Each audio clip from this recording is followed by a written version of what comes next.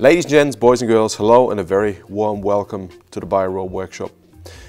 This is a video about one of the best single scullers I've ever seen.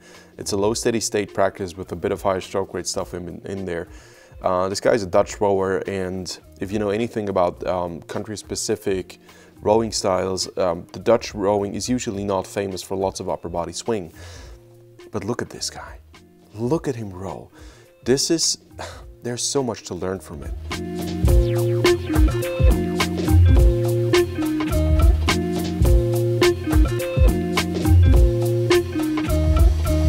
Well, there are certain things when I look at them, um, my heart just starts to sing. I'm a passionate rower. Passion is such a cheesy word to be used, but um, rowing has shaped my life since I was 10 years old. And if I see something like this, it makes my heart sing. This is joy. For every rowing coach, for every rower, watching this is joy. Now, what is it that brings joy and what is it that makes this rowing so, so special? And it definitely is very special. Let's go through the details. So let's look at the, the flow of the motion. Please monitor the bow, what the bow does.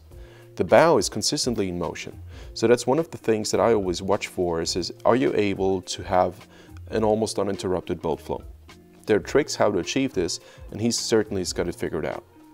The second thing is that you may notice that his upper back is pretty bent and round. Okay, that's probably exaggerated. It might not be super healthy. I think he's a very tall guy energy goes through the armpit down here.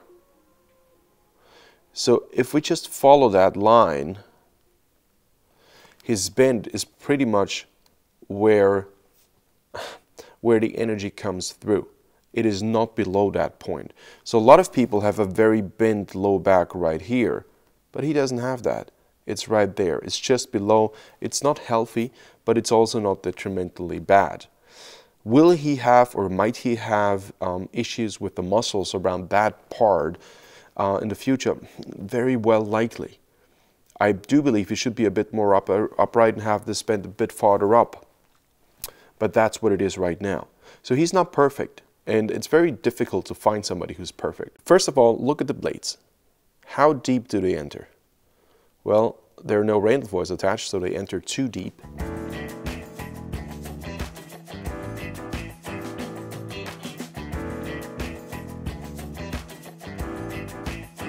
That is a fact. But they don't enter as deep as you see with many other single scullers who simply bury the blade so deep just, just so that they can feel some kind of resistance. Now, a lot of athletes catch too deep with the blades and they confuse a deep catch with an effective catch. A deep catch will give you kind of resistance, but it's not the kind of resistance you're looking for to propel the boat. Because either you're going down with a blade or you're connecting horizontally. You've got one of the two options. If you do a mix of that, there's a trade-off in both directions. So it's a loss either way. What we want is to put the blades into the water just where they would naturally float. So there's an exercise that I use with my athletes is we go to the finish position. That's also how you set up um, the oarlock height, the proper oarlock height. And then we square the blades and let them flow in the water where they would naturally float. No vertical interference. The moment you start to pull, the, the, the top edge of the blade usually submerges just, just below the water surface. That's precisely where the Randall foil will hold you. That's how deep you want to go with the blade at the catch. The catch, that's what most people confuse as well, is not bringing the blades into the water. No, the catch is the connection phase between your blade and the wa water, not vertically, but horizontally. So we are looking for the connection phase here. Water, water, if that makes sense. We're looking for this here. That's the catch. You have to make a very simple decision. I always say kill fish at the catch. You want to go fishing or you want to row. If you want to kill fish, go as deep as you can, but it's not going to make the boat faster. If you want to catch and row quickly, you have to make sure you, you stabilize the blade vertically as, as quickly as possible. That's exactly why Ian Randall came up with the Randall foil. Ian is a genius, I think. Um, he just came up, he wrote an article on Junior Rowing News, and I'm going to quote it in one of the next videos. I'm going to talk about this, where he came, where, he um, picked up idea, an idea that, that actually uh, was used in cycling, where you use little, uh, you know, damper stickers uh, so that you avoid scratching the floor. They put them on, I think, on, on the cyclist's arms, and he tried this on, on his oars to, to introduce less wind resistance. That's, that's so genius and it's not illegal. You can actually use it. But I will talk about this in a different video. Subscribe if you want to be the first one to know about this. And you have to hit that notification bell as well. So what Guus Molle is doing extremely well is he's really trying to focus on the horizontal connection, not on the vertical placement. So he knows that the catch is horizontal, not vertical. And that's for you beginner rowers out there so essential. I know that it's, it's being taught quite often just for a lack of time um, that you have to catch deep and hard so that you feel something. But if you catch deep and hard, you, you waste so much time and the body is set up the wrong way. This is the most ineffective way to start a, a drive in my humble opinion. So the next good thing is if you monitor his shoulders closely, First of all, his shoulders are in that what I call forward and down position. And that's what I've been teaching the last couple of sessions in these Saturday live sessions, where we try, we do a lot of drills, but we try to bring the, the upper arm forward and low. So what this looks like from the side is that you want to you want to bring the upper arm, not the hands, not the elbows, the upper arm forward and low. And this will give you a bit of a stretch around the shoulder blades. At the same time, it will tuck the shoulder right into the trunk. The shoulder is a fragile part of the body and it's too fragile to cope with all the energy that your legs can produce. So you have to find a way how to tuck the shoulder right into the trunk without injuring it, yet at the same time, it shouldn't be a weak part of this entire chain of energy. The chain of energy, and I've referred to this many, many times, uh, goes in such a way.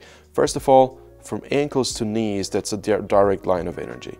From knees to hip joint, that's a direct line of energy. Here come all the weak spots. So in Guus's case, it's all the way up to his first bend, then the second bend. Hey, but at least the bend is far up. I mean, this is really good. And then the question is, if you, if you have high shoulders, you will um, trigger mostly the traps and the erectors, and you will not go through the latissimus dorsi. And the goal is to go through the lats as much as you can because they're much bigger and they stretch all the way down into the back. If you look at the muscle, I mean, this is like made for rowing, but the weak point still remains to be the shoulders, and the shoulders need to be tucked into the trunk as much as possible. And that is precisely what we did um, in, in, in, the last couple of Saturdays. If you want to join, it's a couple bucks a month. Anyway, all the info on aramtraining.com. So Guus is set up extremely well. His his shoulders are tucked into the trunk. And watch what happens now. This is spectacular. Uh, in, in the edit, I will try to zoom in. I, it will be a bit grainy. Nevertheless, I hope you can see this. There's a slight bit of stretch happening the moment the leg drive starts, which is now. You see this? And it's not just the stretch. It's also the idea to bring the hands together. I'm not sure if he's doing that on purpose. What, what I perceived to see is that he's trying to use his pectoralis minor, so the outside of the chest muscle, to bring the straight arms together, a bit like a crab. What this does is it transfers force right around the pins. This is something you lose in a linear erg, but in the boat you have to relearn it, or you practice on a true in a true rowing environment all winter. This idea of closing your arms is essential because it triggers your shoulders in a much different way than any linear erg does. You need your lats, and you need the chest. The chest is a big factor in that because if you're able to transfer force around the pins, you're transferring force precisely where it needs to be transferred. It's not like a linear pull and your hands kind of have to handle whatever force you throw at them. No, you're really going with a lot of feeling around the pins and you don't bend your arms to make this happen, which is the classic mistake when you go from the linear to the boat. No, he's able to keep his arms long and go around and close that here. And that is, that is um, a rare thing to see. It is a rare thing to see.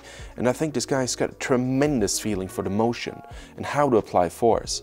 See, he's lengthening out his shoulders, but he's keeping the shoulders low. You see a lot of people lengthening out the shoulders, but not many people have them low. Um, I just looked at the at the Henley Quadruple Sculls 2022, Australia versus China. And in my humble opinion, especially the Australian ladies, um, have their shoulders way too high. If you're interested in me doing a video analysis um, about this quad, about this quad race, just let me know. Drop it in the comments, please.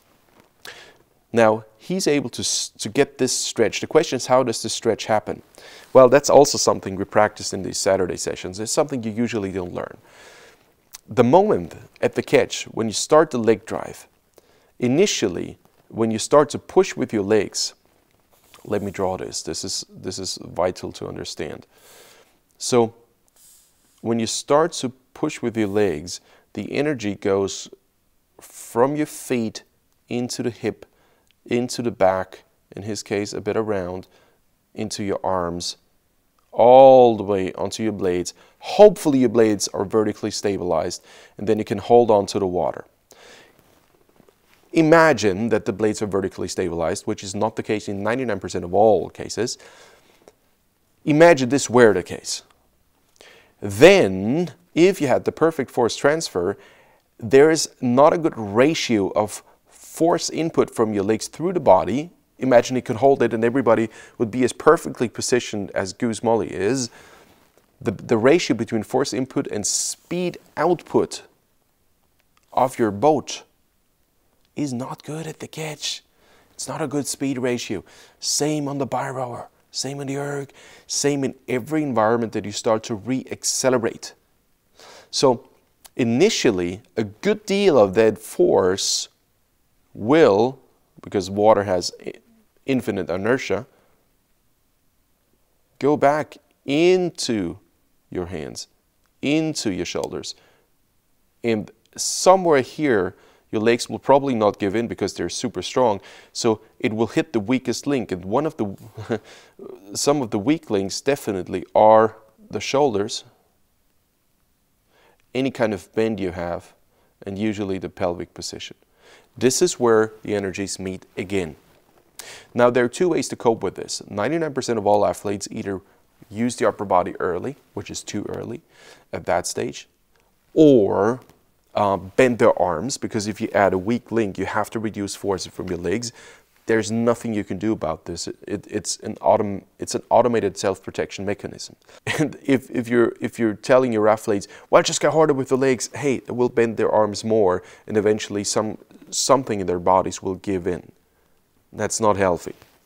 Um, and having a hard and deep catch just makes it worse because you connect slower and eventually the entire force hits you and you've just wasted the entire potential of the catch. So how do you deal with this? Well, you try to be as that's what we did in the Saturday sessions. You try to be as well braced as you possibly can.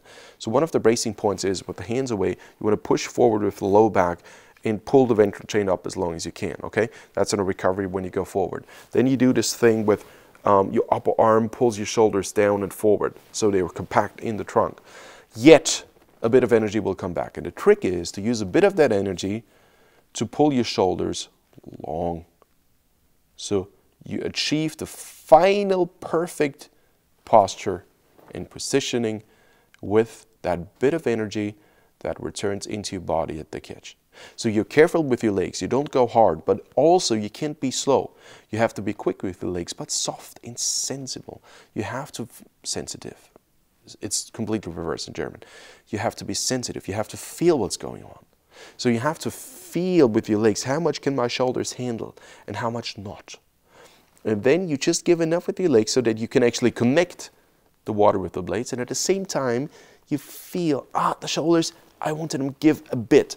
And that give of the shoulders is a bit of this. But if your shoulders are high up, well, you just stretch the erectors and the upper body will go up because these are too small of a muscle you have to have low shoulders and then you can use the lat. The thing is every muscle that is under tension and under stretch will be the one that transfers. You, uh, you want that one to transfer. So at the catch when you do that and at the same time you do that stretch forward and close, that is precisely how you generate picture perfect force curve on a Biorower, an immediate force pickup. And a lot of people think ah, it just needs quicker leg drive. No, it needs the preparation of the entire body. All right, so what I'm referring to is the classic thing that many people do when they hop from the linear erg into the boat. They will do this. And the reason is that on the linear erg, you're used to pull straight. Well, this doesn't trigger your shoulders precisely the way they should be triggered. So what we need is the ability to go in, to go together, to close the, to close the hands. And a lot of people think, you look at the force curves. So red for right, green for left, just like in the boat. And what, what we want, or what I want as a coach, is a curve that looks a bit like this, a plateau with a bit of a peak at the ending in low steady state. So in, in race pace, none of that is going to be left. It's going to be a plateau at best. So how do you achieve this? And it doesn't require much force, but it requires to, di to direct energy in a 90 degree angle to the oar handle. So you don't want to pull like that because this is going to bring a lot of waste. But this is what you used to from the erg because your shoulders have lost A, their mobility and their mobility and strength to move around.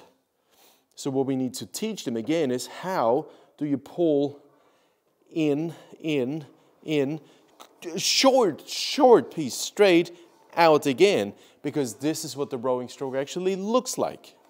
So, like that.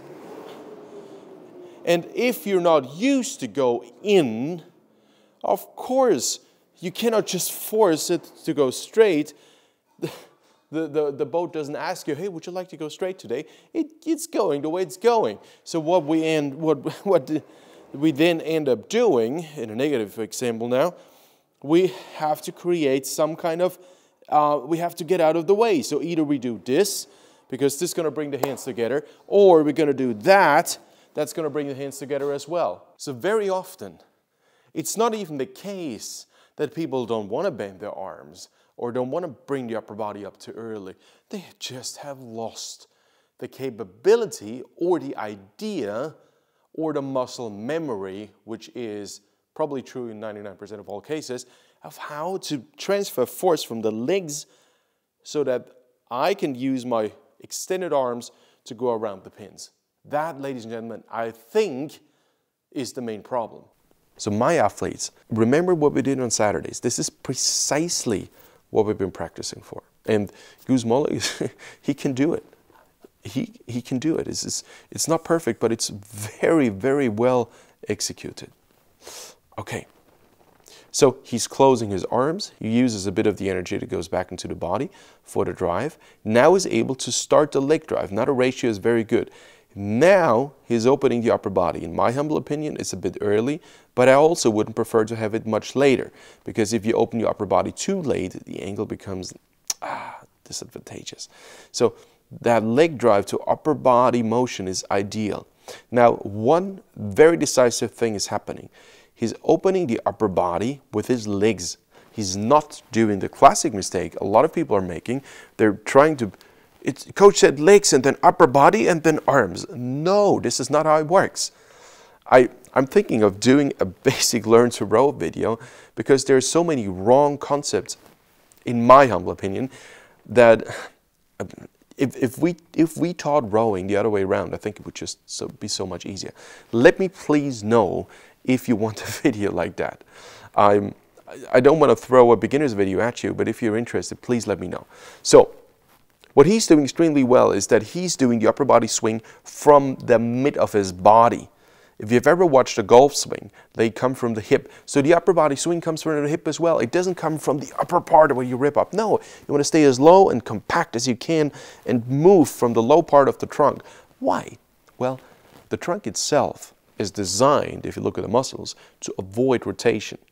That's pretty much the main capacity of the muscles that we've got in our trunk. So we don't have the capacity to generate much of a motion. The question is, how do we do this upper body swing then? Well, this is how we do it. We use the hamstrings, we use the glutes, we use the low back, and this one is a lever, and we try to pull the ventral chain as long as we can. Why? Well, if you pull the ventral chain long, it's interconnected with the pelvis, and then you can use the entire trunk as a lever. If we didn't have our trunk under control, and Molle certainly does have his trunk under control, well, then we couldn't do an upper body swing with a long lever, but with a short lever around the, the hip joint, which is what most rowers have, which is why they miss out on, the, on, on their body weight potential. Um, I've recently done a video on that Henley double Mondelli Rambaldi versus Oppo and Ruta, the Italian heavyweight uh, versus the Italian lightweight double. Was it 2017, I think?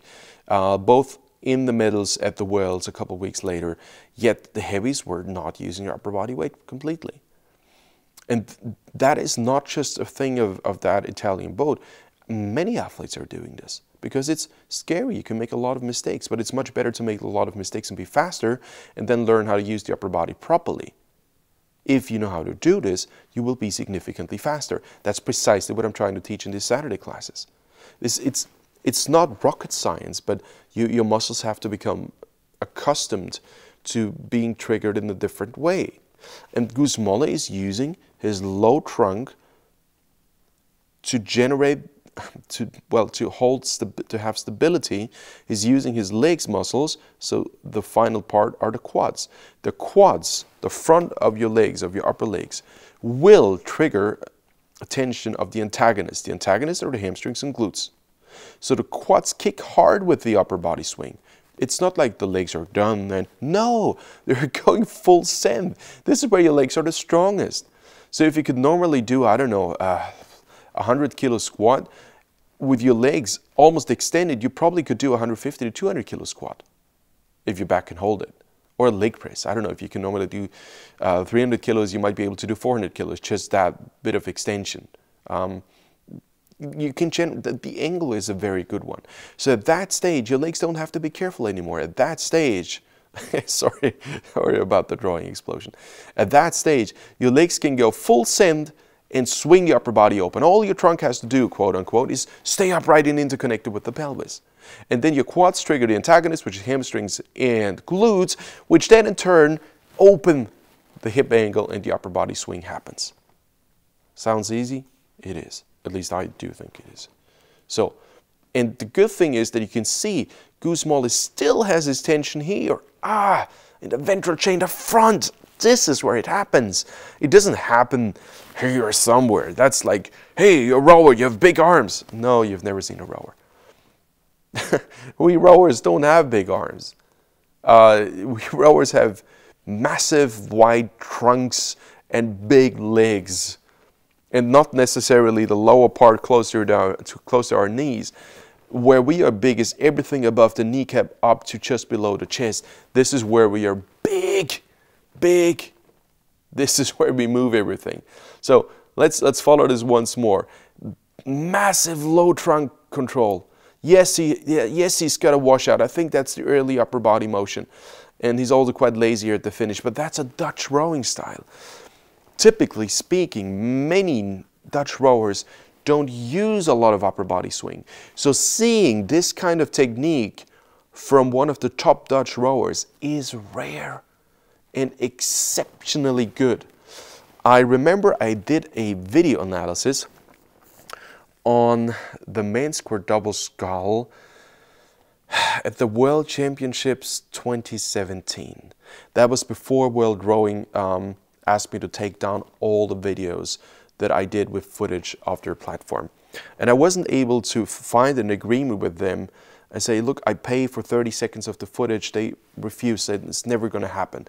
I think now they have a new director um, that is, you know, director for, I don't know what this is, marketing, I'm not quite sure. Um, but until one and a half years ago, I could, I just could not find an agreement with them. Um, super nice, but super reserved as well when it comes to that. No, you can't have even 30 seconds when I did this analysis, I still have it, but I will not send it to anybody and not publish it because I keep my word to World Rowing. Um, you could see that this was the year the Dutch had their super upright finish and they were in the lead at the 1500 open weight men's quad and then they were overtaken by the Baltic states. I think it was Estonia and Lithuania that overtook them. And there was no, and even the British. And there was nothing the Dutch could do because they were missing out on that upper body motion. And the year later, they had it. The year later, they did that. And this was the year when the Dutch quad became unbeatable. And I think Guus Molle rows precisely that style. Let's look at him rowing once a, a bit more. There's, there's a lot to be said, but just that feeling at the catch, that slowness of getting the blades into the water, not punching deep, but trying to sense, although the stroker is going up. And yes, there is no Randall foil attached, but that ability to close the arms, to go around the pins, this is something you usually lose on a linear erg, and this is what people keep on a Biorower. That he's got it all. He's got it all. And there's a now you can see he's a bit of ducking at the catch and his blades are going up and he's not perfect. But there are many, many good things we can learn from that, especially how to use the trunk. And somebody suggested just a few minutes ago on YouTube, um, say, could I have a look at the Danish lightweight men's four of the 2008 Olympic Games Beijing? Yes, yes, their backs were even rounder than that and they were so fast. So if you're interested in myself doing that video analysis of the Danish lightweight men's four of the Beijing Olympics 2008, just drop me a comment, let me know. And subscribe and hit the notification bell so next time you're notified right when a video comes out. All right, with this being said, if you want to work with me, for example, join the Saturday Life classes or get a proper training plan, uh, or both, or do one-on-one -on -one sessions with me. That's what I do besides the Biorower project. So this is where you, you would find most of the progress. Um, go to aramtraining.com, fill out the program bending questionnaire. The link for that is in the description below. You don't have to get started right now, or if you can, do it right now because every week we have is important for your peak of season. The way it usually works is that um, I will ask you what is the most important race of your season and then we date back. How many weeks have we got? What are your weaknesses? What are your strengths? Where are you right now? What do we need to compensate for? Are you explosive? Are you endurance? Um, and then we slowly get going and make sure you have a solid base and a very high output for your main peak of season. All right, and if you're interested in the Biorower, that's I should do a video on the Biorower myself, how this all started. If you're interested, please let me know in the comments. Essentially, I started um, 20 years ago, no, 22 years ago, 23 years ago. No money, no experience, nothing. I was naive to start this thing. Um, a good friend of mine and I had played around with this rowing machine-like thing, rowing boat-like thing on dry land that would not hurt my back. Um, I was part of the under 23 national team then, and I was so frustrated with the entire experience of having given everything and then being in a system that wasn't very professional. The first thing I decided to do was to build a rowing machine that would not destroy my back, unless the, un, unlike these linear ergs that I had to use every day for a couple of hours. That was the first thing. The second thing was that I wanted to be the coach that I would have needed. I had um, good coaches for a good deal of the time, but I felt like when it came to peak, um, the system wasn't very professional at all. I felt that I would have needed somebody who would take my hand as a partner and say, look, we're in this together and let's build this from scratch and see how far we can bring you.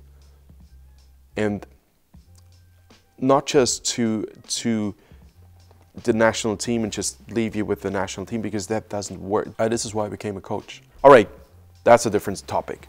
Thank you for sticking around so long. I try to bring out relevant videos. And if you're interested in anything specific, hey, just drop me a comment or contact me on rowing.zone. That's the rowing enthusiast platform for free, made for everybody who likes rowing. Uh, there's a free classified ads page. And I just try to connect everybody who likes rowing. CrossFit, beginners, inner rowers, um, a woman with 300 pounds trying to lose half of her body weight. Everybody who likes rowing should be able to connect there. It's small and it's slowly growing and I appreciate everybody who contributes. Now with this being said, that's it for today. Thank you for watching the entire video and I wish you all the best and I see you in the next video and you learn about it if you hit the notification bell. See you then. Bye-bye.